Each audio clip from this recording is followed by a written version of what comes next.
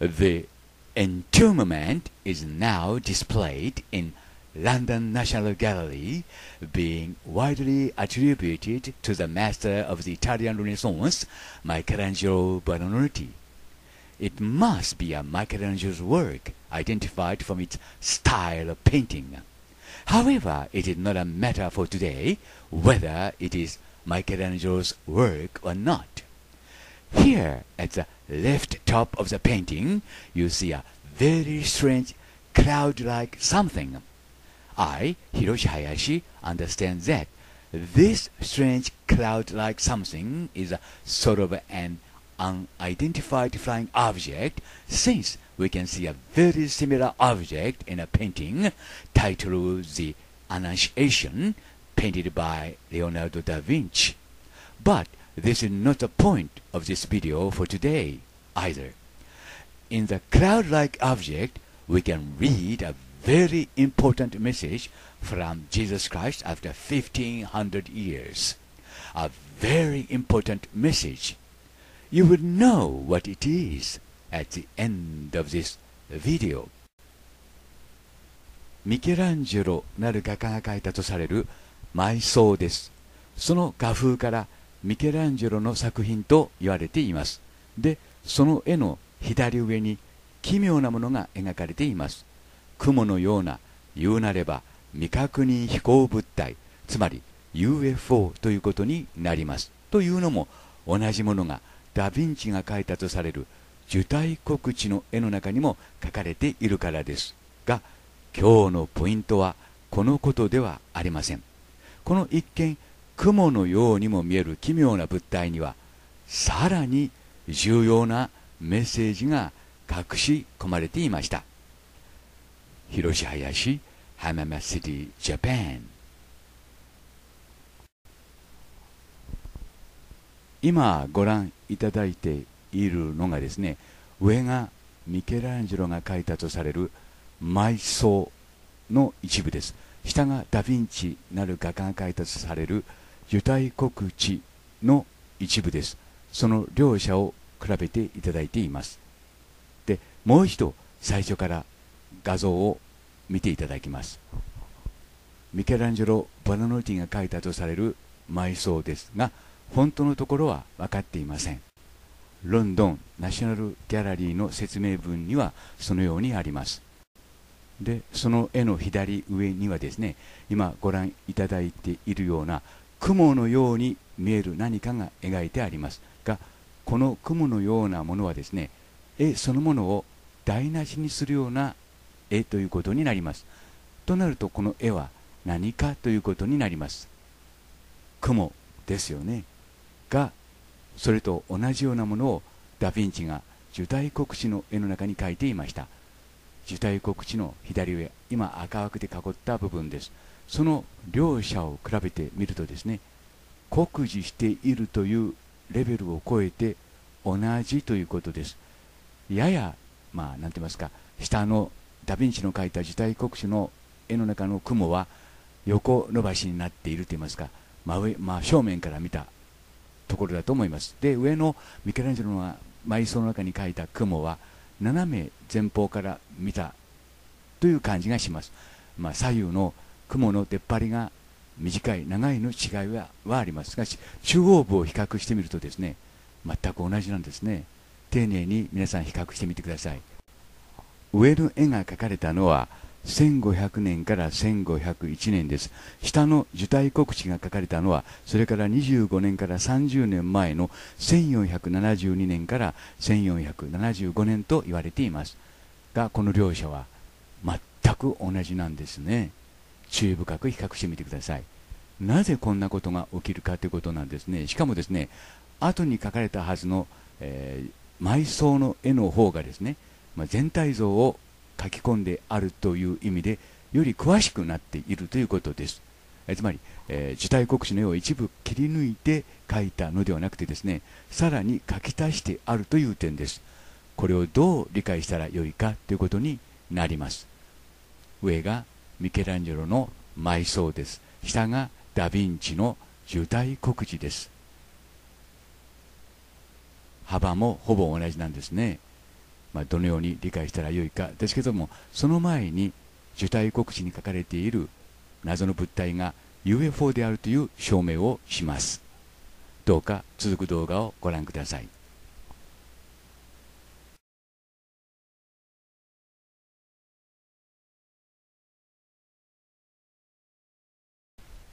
The Sun magazine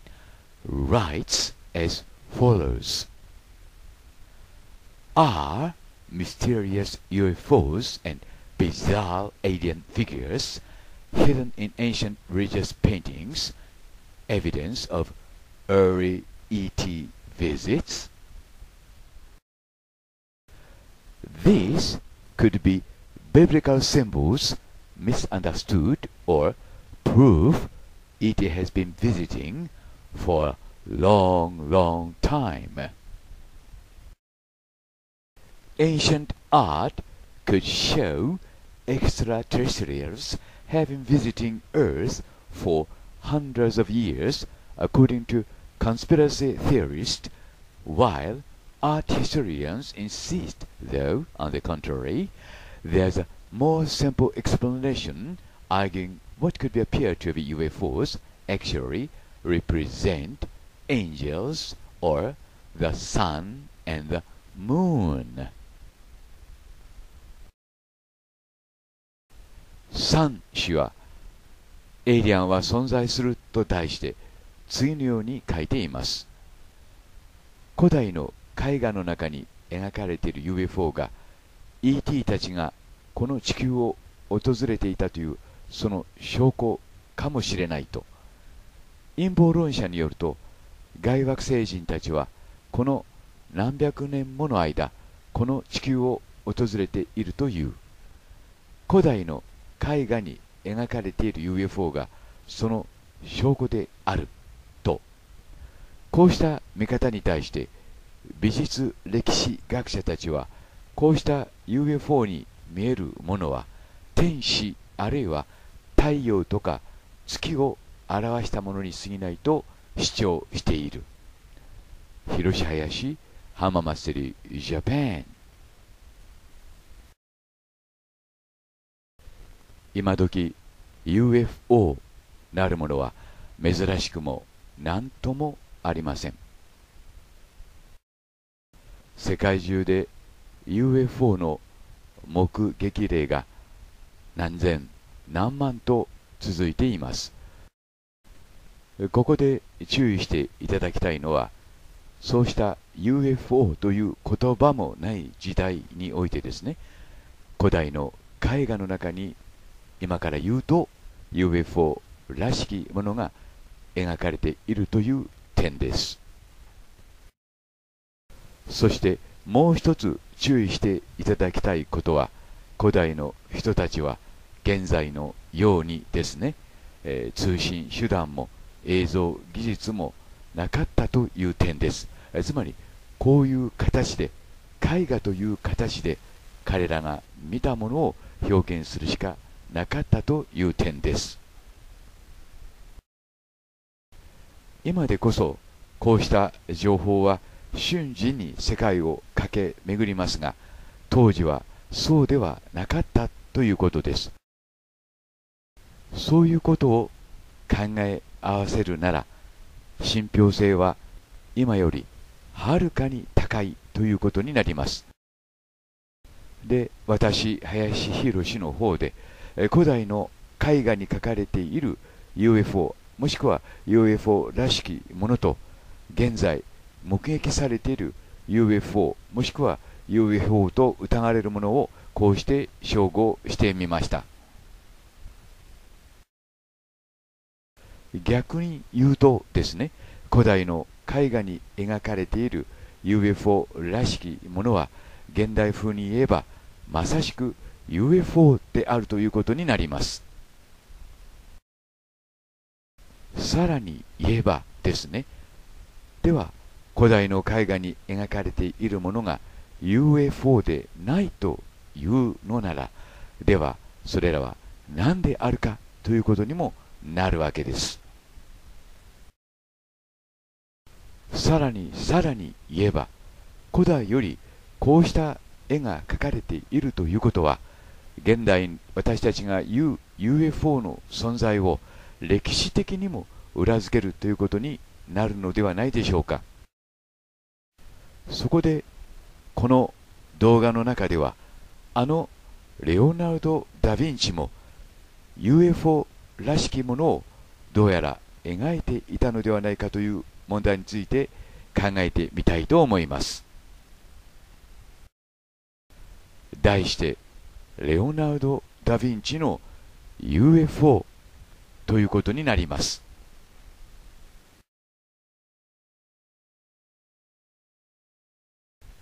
画面を見ながら説明します。レオナルド・ダ・ヴィンチなる画家が描いたことになっている受胎告知の絵です。この受胎告知の左上に注意してください。ここに雲が描かれています。一般には雲と解釈されています。まあ問題にする人もいないということですね。がこの雲はどう見てもおかしいと私は考えます、えー、中心部が卵系でで左右対称になっています。見方によっては翼にも見えるということです。でこれは UFO なのかどうかということですが今までの流れからするとですねまあダヴィンチの周辺にこのような UFO があったとしてもあるいは飛んでいたとしてもおかしくないということになります。でいろいろと明度を上げたりコントラストを上げたりして見てみますが今一つはっきりしません、まあ、ここで言えることは先に言いましたように中央部が球体系であり左右に左右対称の翼のようなものが描かれているということです。これは UFO なのでしょうか？それともそうではないのでしょうか？もう一つ怪しげな絵をご覧いただきます。アントレア・デル・ベロッキオとレオナルド・ダ・ヴィンチの合作とされるイエスの洗礼の絵です。この右上の方に奇妙な鳥が描かれています。この鳥に注意してください。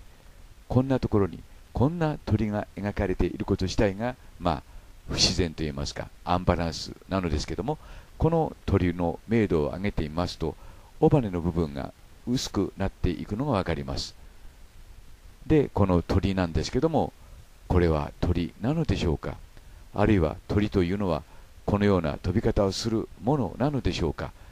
まあ右の翼は見えますが左の翼は見えませんそして足も描かれていますで実際の鳥と比較してみますでどうもおかしいんですよね、まあ、どうおかしいかは皆さんご覧になっている通りですけども鳥なのか取れていないのかということになるわけです。で、私はこれは UFO ではないかと考えています。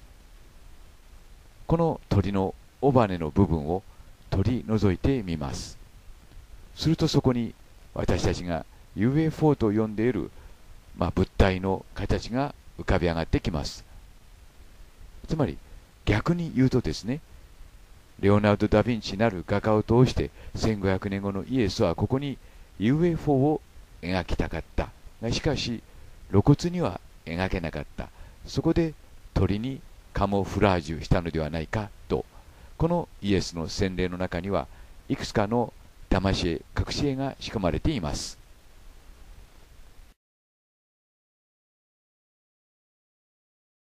話を受胎告知に戻します。受胎告知の左上には奇妙な雲が描かれています。この雲は何を意味するのか、まあ、ここだけを見ていると雲かなということになるのかもしれませんけれどもまあ今までの流れからするとどうやらこれは雲ではなくて私は UFO ではないかと考えています。つまり意味のないものを1500年後のイエスは書かなかったということになります。このもやもやとした部分に注意してください。で比較してみます。その下がイエスの洗礼の中に描かれている奇妙な鳥です。でこれは UFO ではないかということですね。で形を照合してみますとまあ、現在いろいろな UFO が報告されていますけども、まあ、UFO の中でもですね空飛ぶ円盤型の UFO ということになります。今風に言えば珍しくも何ともない UFO ということになります。そしてまあ私はこの UFO に大変よく似ていると判断しました。一方受胎告知の中の雲ですが私はこれは V 字型の UFO ではないかと判断しました。写真はデスバリーで写真に撮られた UFO です。そしてこれがハドソンバリーで写真に撮られた UFO です。機体の周辺がもやもやと雲のようになっている点に注意してください。見る角度が違いますから同じようには見えないのかもしれませんけれども上は正面から見たところ下の右下はですね側面から見たところということになります。V 字型でもやもやしている。まあハドソンバリーで写真に撮られた UFO と比較するとですねいわゆるまあ受胎国史の中に描かれている、まあ、この雲のようなものは UFO ではないかということになります。あくまでも今の段階ではそのように見えるというだけの話なのかもしれません。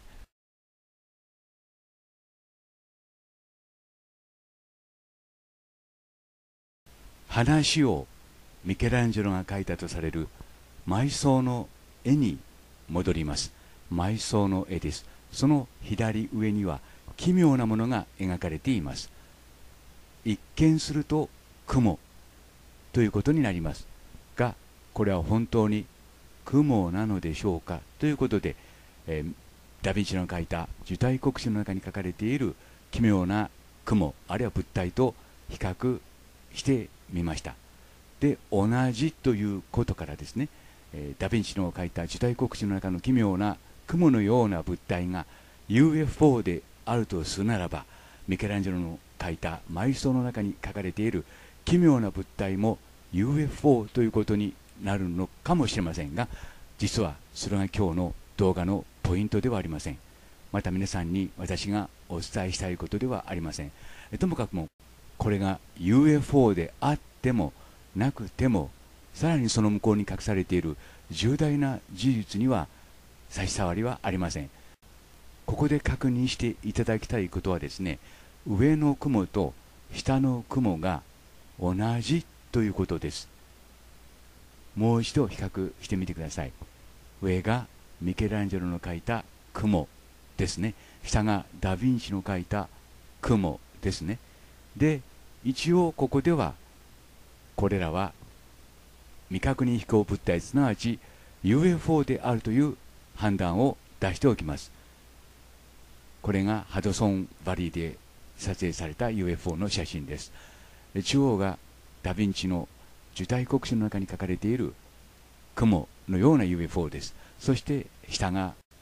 ミケランジェロが描いた埋葬の中に書かれている雲のような UFO あるいは雲、まあ、どちらでもいいわけですけどもということになります。でここからが今日の結論ということになります。その結論を話す前に一つ皆さんに確認しておいていただきたいことがあります。左の絵は一応ミケランジェロの作品と言われています。右がシスティーナ礼拝堂の天井画に描かれている絵です。画風が同じと言いますか、まあ、こうして比べてみるとですね、まあ、一目瞭然と言いますか左の埋葬の絵はミケランジェロの作品ということになります、まあ、誰が見てもそのように見えるというわけです。ロンドンナショナルギャラリーもそのように判断しているようです。となるとここで大変おかしなことが起きます。下がダ・ヴィンチの絵です。上がミケランジェロの絵です。そして下の水平線を合わせて上に貼り合わせてみます。この作業は大変慎重に丁寧にしました。色はやや違いますが継ぎ目のところを注意深くご覧ください。同じなんですね。ちょうど指の指紋が一致するようにこのつなぎ目のところの絵の柄がですね一致しているのが分かります。これをどう判断したらよいかってことになるわけですけども上が後で描かれた絵です。下が先に描かれた絵です。その間には25年から30年の年月があります。唯一考えられることはですねミケランジェロがダ・ヴィンチの絵を丁寧に丁寧に丁寧に模写してそれを自分の絵の中に書き込んだということになりますがそんなことはあり得るでしょうか？あり得るとしたら上の絵はですね一応ミケランジェロの作品ということになっていますが実はダ・ヴィンチが描いたということになりますがダ・ヴィンチとて25年30年前の絵をそっくりそのままこのような形で描くことは不可能です。となるともう一つの可能性はこれら2枚の絵はもう一人上の神によって描かれた絵ということになるのではないでしょうか。1500年後のイエスです。1500年後のイエスがダ・ヴィンチなる画家を使って下の絵を描いた。そしてその25年後から25年から30年後に今度はミケランジェロという画家を使って上の絵を描いたあるいは描かせたあるいは描いて与えたということになるのではないでしょうか。でないというのならこの両者の絵の一致をどのように判断したらよいかということになります。